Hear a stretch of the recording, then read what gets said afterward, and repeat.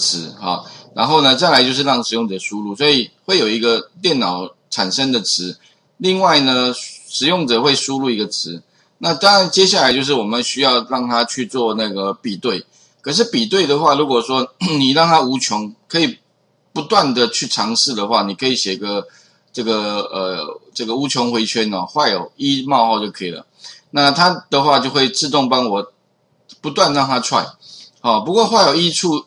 坏有一哈一其实就处啊冒号，那这个地方呢，就是让它不断的 try 啊，直到它是正确，所以里面会放个逻辑啊。那这种程式其实蛮多类似的用法啊，都会有类似的做法。那另外的话会有一个那个剪刀石头布部分哈。那 剪刀石头布的话呢，我这边是会有一个串列啊，因为哎，假如你要做一个剪刀石头布的一个程式的话。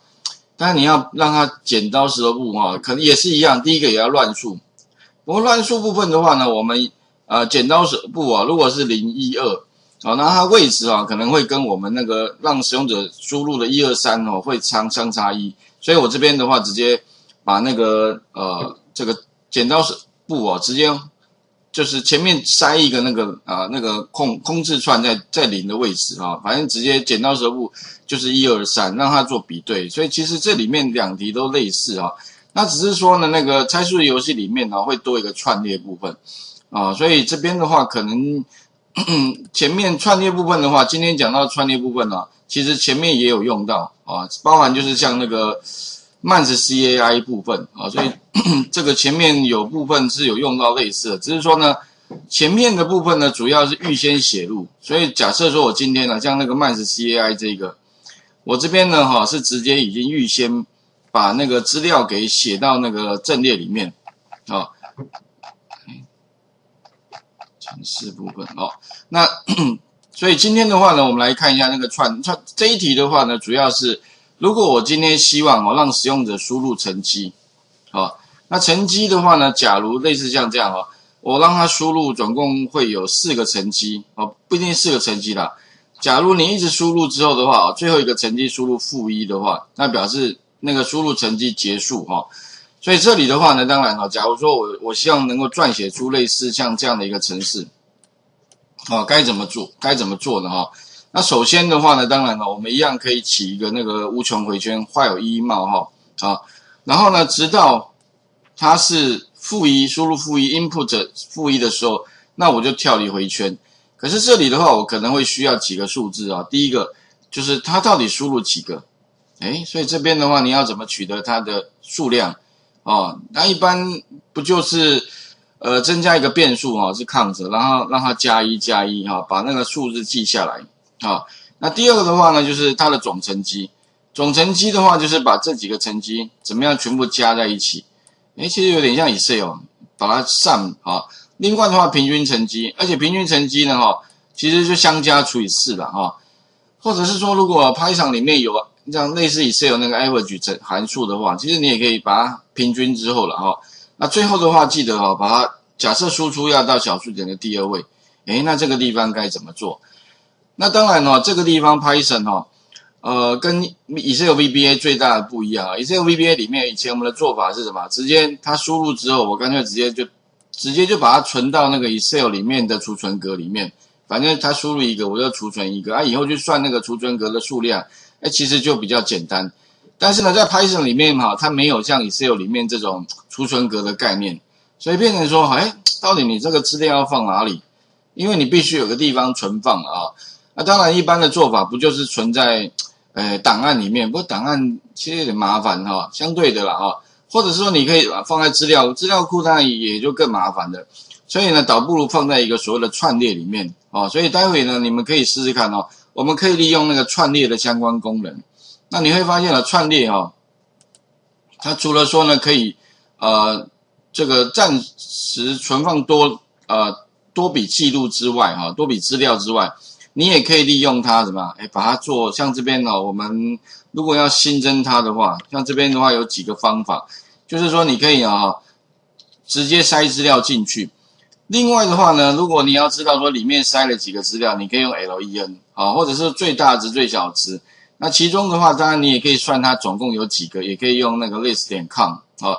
那另外的话，如果你要再增加资料的话，你可以用 append 啊。所以其实这边的话，你也可以试试看。如果说我们要增加成绩的话，哎，或许你可以用那个 append 的方式，先新建一个空的 list，然后再来的话呢，把它一个一个的塞资料进去。OK，好，其他当然还有相关的底下哦，比较少用了啊。不过也或许你将来用到像那个呃，比如说你要移除哪一个，或者要翻转那个串列的话，那这边有相关的方法啊，请各位先看一下，然后稍微试试看哦。那最后如果说成绩要排序的话，它这边有一个类似 Excel 里面是有排序功能啊。不过如果你要针对这个串列做排序的话，有那个 sort 方法啊。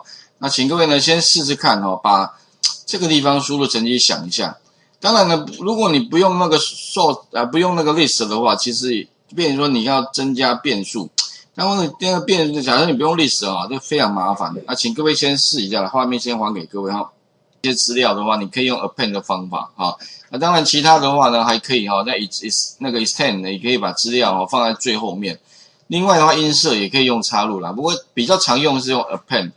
那我们的做法是这样啊，如果说我今天呢要输入一个成输入一个成绩，可能不不止一笔，好，那当然第一个呢，我可能会先需要做一件事情，就是啊，先在那个宣告的时候呢，我先宣告一个空的一个那个呃一个一个串列，那这个串列哈，我们一般习惯就直接给它一个空的一个刮弧，表示说，哎，这个部分里面的话，那 scope 啊里面它是一个串列，可是目前没有放任何东西。那我要什么时候呢？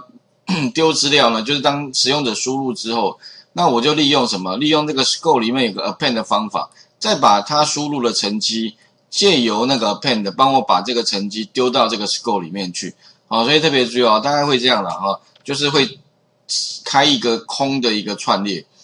那那以后的话呢，用 append 把资料丢进去。那这个方式的话蛮重要，因为以后我蛮多，比如从网络上捞了资料，你不可能说。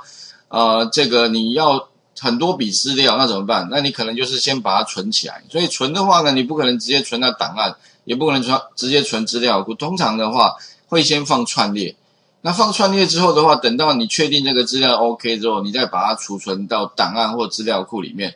所以这种做法啊，我印象中呢，哎，这个用到的几率非常的高哈。所以这个可能要熟悉了啊，而且要知道放在哪个位置。那再接下来的话，我先把那个哈，可能做完的那个结果先演示一下，给各位看一下。基本上第一个啊，就输入成绩嘛啊，因为现在期中考试啊，假设改成绩，我就输入一个成绩，第一个，然后 Enter 第二个，好，第三个人成绩，第四个人成绩。假设我已经输入了四个，哎，四个成绩刚好四个人，最后一个呢，我就让它停止输入了。所以呢，我假设哈，我输入一个。哎，其实也这是一个判断条件。如果输入负一的话，那表示说我已经输入成功了。那输入成功之后呢，请你显示三个东西给我。一个是什么？一个是它到底我到底输入几个？哎，所以啊，特别重要。如果你用 append append append 的话呢，它就会第一个输入一笔，那就它里面都会告诉你啊。如果你用那个算它这个 list 的长度啊，它会告诉你一个。那如果再输入一个，它输入两个、三个、四个。其实或者你也可以用 count 啦，哦，count 里面也可以算说里面到底有几个啊的的这个这个也是可以回传你要的值啊，所以它方法蛮多的。那这边我用 len 哈，那 enter 之后的话呢，我们来看一下，基本上就把第一个是里面输入几个，第二个的话总分，那总分的话我必须把它加总，哦，哎加总的话呢，那怎么把这些资料给加总起来？它是在这个串列里面没有错，可是问题我要怎么样把它里面一个一个把它把它加总起来？OK 哈，那这个可能要思考一下哦。其实加总的话，不会跑个回圈吧？那回圈里面的话，你就给那个 list 里面塞零就抓第一个值，一就抓第二个值，一直类推，好，那就把它跑回圈，全部跑过，并且把这些全部加总起来，好，然后再输出。哦，这边我用的是这个方法。另外还有一个方法了哈，在那个就是 Python 里面刚好有一个函数叫做 sum，哎，这个 sum 的话呢，用法跟 Excel 那个一样，意思是说把这边全部加在一起。可是我有个问题啊，因为我多一个负一啊，所以变成怎么样？你已经啊里面全部加总，但是会减一，那你可能最后要把那个减那个负一啊，可能要把它加回来，因为它上没办法剔除，说我今天哪一个不加，它是全部加在一起，所以你也可以把它用 sum，那最后把它加个一，哎，好像似乎这样也可以了哈。那再来的话算平均，那平均的话呢，哈，那个呃 Python 里面好像就没有对应像那个呃 Excel 里面那个 average 函数，所以就只好怎么样自己来。那没关系，就把总共你要去算的哈。那因为我们这个总共输入四个，所以你除以四就可以了。那这个四的值你也可以从那个长，就是那个串列长度里面取得。所以我们按个 Enter，好啊，这边的话呢，我如果今天希望看到就这样这样。哎，总共四个学生啊，总分多少？平均多少？OK，那这个做法啊，当然如果你用 VBA 来做，我刚刚讲过了，其实 VBA 就是这一点比较方便，就是说它不需要用那个啊类似串列，反正它就直接丢到 Excel 里面啊再去做处理。但是在 Python 里面没有，那只好呢，我们第一个就需要什么？所以这边我们来看一下程式啊。城市里面的话呢，我大概增加了几个东西。第一个哈，我刚刚讲的，如果说我今天要储存这些，总共这些成绩，另外还包含这个负一哦。我今天呢，如果要把这些都存起来的话，诶，那我没有更好的方法哦。那目前看到 Python 里面最简单的，应该就是用串列，用 list。好，那 list 呢，它的结构一定是中刮弧。OK，那另外有一个是那个 triple 哈，triple 的话呢，它可以用小刮弧。不过特别注意，如果你用小刮弧的话，哈，它跟 list 几乎一模一样，使用的方法一模一样，只是差别是小刮弧是唯独的，唯独意思说它不能写资料进，它只能读取，不能写入。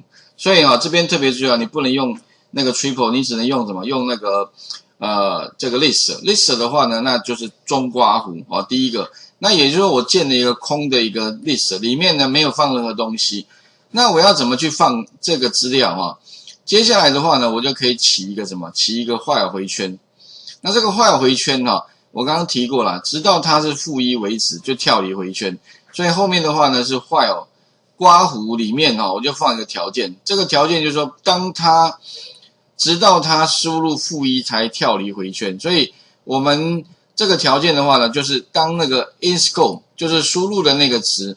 它不等于负一的意思，不等于负一的意思。OK，不等于这个叫不等于负一，意思就是说它没有输入的。假设它输入不是负一，那就继续让它输入。可是当它如果输入负一的话，那就跳离这个回圈了啊。所以特别注意啊，这个地方的话，呃，就是在条件上面哦，你可以多增加这样，或者说你也可以用之前的画有一冒号，画有一冒号就是反正你又一直进去。但是如果你写成那个画有一冒号的话，那你恐怕就要在底下加 if 的逻辑判断。如果他输入那个 in 啊 in scope 等于负一的话，那你就 break 也可以了啊。不过看起来好像写这样子会比较简单，因为直接就在这边写一个逻辑判断嘛，就相对的这样，所以呢，程式的写法哈总其实蛮多的，没有所谓标准答案，但是只是说呢，你。懂得那个哈一些方法写写的话呢，你会发现写都比较简精简啊，啊，所以像我的习惯也是会写完程式之后呢，能够再看一看，哎，有没有什么地方可以让程式感觉上更精简，啊，所以尽量做到就是程式哈行数那个越短越好了，哦，不过当然也不是极极致，只是追求那个行数多少哈，那再来的话呢，我们接下来就是啊。请那个哎，使用者输入成绩，输入到哪里呢？输入到 in scope。所以这边 in scope 这个变数啊，我上面已经有宣告了，它会是一个整数。OK，当然如果未来呢，你假如要让它输入嗯有小数点的话，你可以输入零点零啊，它就浮点零啊，浮点数了。OK，如果是零的话，那就是整数；如果是零点零的话呢，那就是可以输入小数点。好，这个可能要注意一下哈。那再来的话呢，哈，就是底下呢，我们就是让它输入，哎，input，请输入它的成绩。所以刚刚各位可以看到，请输入成绩嘛。那我输入八十九的话，它就会怎么样？直接输入完之后啊，是八十九的字串。好，前面一直强调。那如果说你要丢到这边存的话，因为它里面是一个零点啊，那一个一个零哈，零的话是整数，所以呢，我就把它转转换它的形态叫 int。那当然你也可以这边哈，假设你要。